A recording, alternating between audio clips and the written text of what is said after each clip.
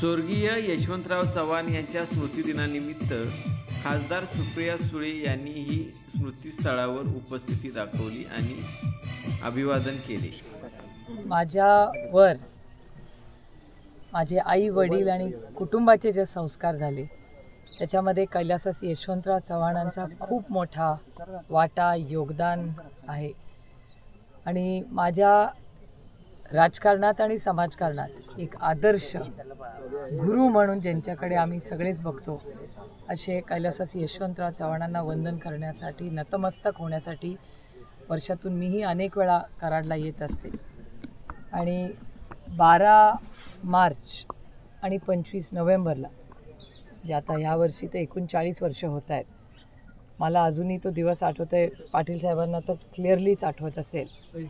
की माझ्या आयुष्यात मी माझ्या वडिलांना म्हणजे अतिशय हताश दुःखी किंवा कोसळताना इमोशनली कधी पाहिलं असेल तर तो हा दिवस. मला अजूनही तो दिवस माझ्या आयुष्यात कारण का तेव्हा एवढं काय आम्हाला समजत नव्हतं. वयाने लहान होतं.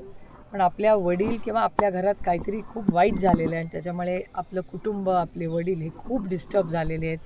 खूप वाईट घटना झालेली आहे आणि त्यानंतर त्या काळात काही चॅनल नव्हते किंवा टी व्ही नव्हता किंवा काहीच नव्हतं. पण जसं वय किंवा वाचन वाढत गेलं त्याच्यामध्ये चव्हाणसाहेब हे महाराष्ट्राचे पहिले मुख्यमंत्रीच फक्त नव्हते पण या देशाचे खूप थोर नेते एक द्रष्टा नेता.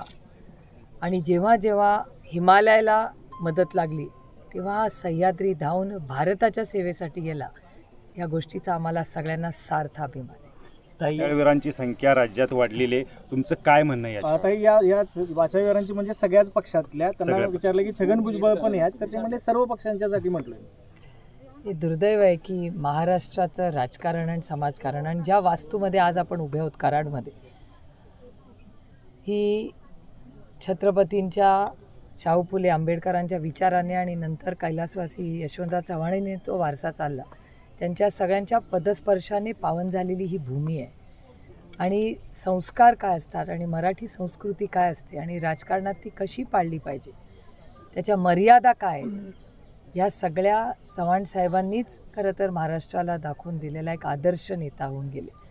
त्याच्यामुळे त्यांच्या आदर्शाने आपण जर चालत राहिलो तर ह्या गोष्टी अर्थातच आपल्याला अस्वस्थ करणाऱ्या आहेत.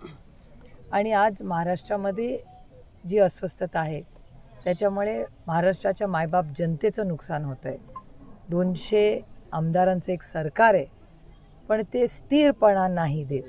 याच्यात संपूर्ण महाराष्ट्राच्या विकासाचं नुकसान होतं आहे आणि मायबाप जनतेचंही नुकसान होतं आहे आणि जेव्हा मी दिल्लीतून हे पाहते चव्हा पाटील साहेब आणि मी दिल्लीत असतो त्याच्यामुळे आम्हाला दिल्लीत सगळा डेटा मिळतो प्रत्येक राज्यात काय चाललं आहे आणि गेल्या सव्वा दीड वर्षामध्ये महाराष्ट्राचा जो विकास आहे त्याचा वेग खूप कमी झालेला आपल्याला सगळ्यांना दिसतो आणि हे अतिशय चिंताजनक आहे आणि हा राजकीय नाही हा एक सामाजिक विषय होऊ शकतो पुढे. काही छगन भुजबळ यांचं अपयश लाप- लपवण्यासाठी जाती जातीमध्ये तेढ निर्माण केलं जाते असं जाणीवपूर्वक घडते असं वाटतंय का आपल्याला? वर्तमानपत्रात सगळं वाचलं तर शक्यता नाकारता येत नाही.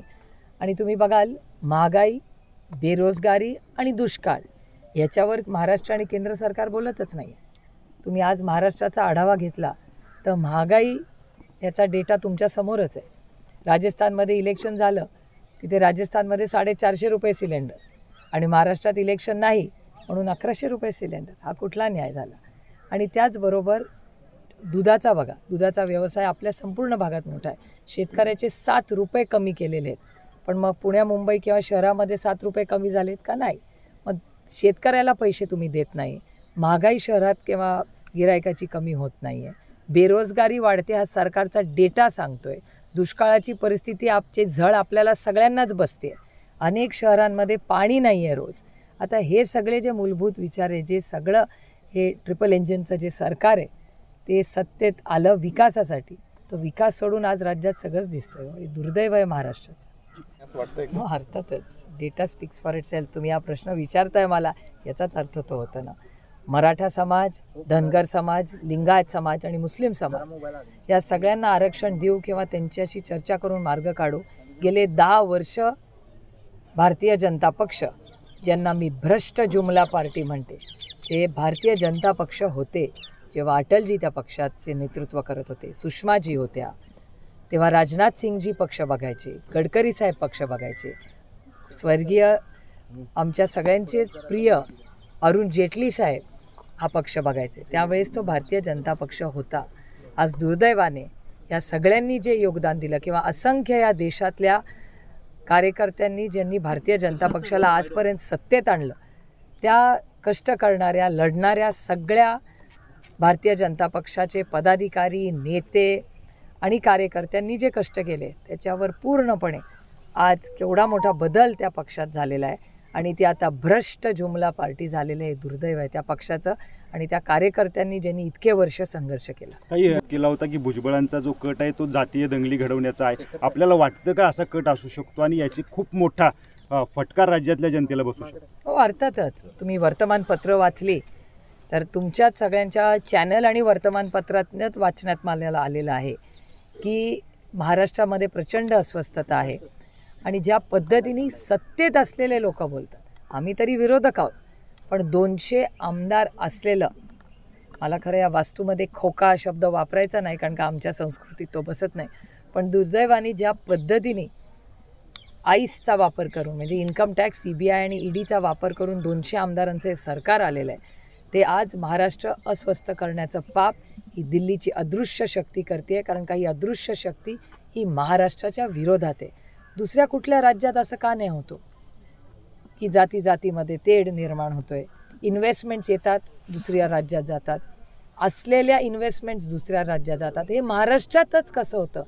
कारण का केंद्रात एक अदृश्य शक्ती आहे ज्याला महाराष्ट्राचं महत्त्व देशामध्ये कमी करायचं आहे आणि ते फक्त राष्ट्रवादी काँग्रेस किंवा शिवसेनेपुढे सीमत नाही आहे भारतीय जनता पक्षाच्या नेत्यां मराठी नेत्यांवरही ते घात करतायत. त्याच्यामुळे मराठी माणसाच्या विरोधात केंद्र सरकार आणि अदृश्य शक्ती एक मोठं षडयंत्र महाराष्ट्राच्या विरोधात करते. जरांग यांच्या मागून हे त्यांचे त्यांना हँडल करतायत अशा पद्धतीचा एक आरोप आता भाजपकडून केला जातोय ह्या सगळ्या प्रकरणांना.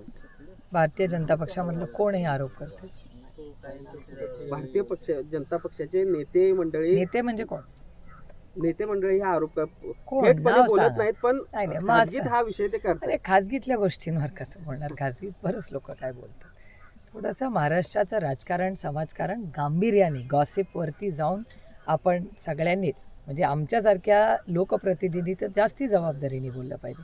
आणि मला विचाराल तर आरक्षणाचा मुद्दा हा अतिशय संवेदनशीलपणे महाराष्ट्राच्या सरकारने त्याच्यासाठी सेशन बोलवलं पाहिजे त्याच्यावर चर्चा केली पाहिजे. मराठा समाज धनगर समाज लिंगायत समाज आणि मुस्लिम समाज या सगळ्यांच्या मागण्यांबद्दल अतिशय संवेदनशीलपणे चर्चा झाली पाहिजे. त्या चर्चेला पूर्ण ताकदीने आम्ही तयारी आहोत आणि आमचा पाठिंबा आहे. मला असं वाटतं आज काही जागा नाही याबद्दल बोलायची पण महाराष्ट्रामध्ये प्रचंड अस्वस्थता आहे. आणि मला वाटतं महाराष्ट्राच्या समोर सगळ्यात मोठं आव्हान म्हणजे दुष्काळ पिण्याचं पाणी. आज शहरामध्ये गेलं तरी पाण्याची अडचण होताना दिसते ग्रामीण भागात गेलं तर शेतीच्या पाण्याची अडचण दिसते. त्यामुळे मला विचाराल तर महाराष्ट्राच्या समोरचं सगळ्यात मोठं आव्हान यावर्षी दुष्काळ आणि पाण्याचं नियोजन असणार आहे. गुन्हे दाखल झाले होते. त्यापैकी काही जणांच्या घरी अ, बंदूक सापडल्याच्या घटना घडल्या आहेत. कसं बघता एकूणच हे ह्या प्रकाराकडे? नाही हे होम मिनिस्ट्रीचा फेलियर आहे. इंटेलिजन्स असतं या राज्यामध्ये. आणि अनेक वर्ष जे यशस्वी होम मिनिस्टर राहिले या टर्ममध्ये असं काय झालं आहे की त्याच होम मिनिस्टरचं काम त्या दर्जाचा आपल्याला वगैरेचा विषय नसतो. किंवा ह्या भावना असतात लोकांच्या. कोणी काय टार्गेट करून गोष्टी करत नाही. लोकांच्या भावना असतात. आणि जे सत्य असेल ते लोक एका लोकशाहीमध्ये बोलत असतात. एखाद्या नेत्याला जर काही बोलायची इच्छा झाली म्हणून तो काय आपला विरोधक आहे म्हणून तो फक्त आपल्याला टार्गेट करतो असं नाही. अनेक वेळा आमच्यावरही टीका टिप्पणी झाली आम्ही सत्तेत असताना. म्हणून आम्ही काय लगेच विक्टम कार्ड खेळलेलो नाही. ठीक आहे काळ असतो. आणि आपण त्याचं म्हणजे एका संवेदनशीलपणे आपण त्याची उत्तरं द्यायची असतात खरं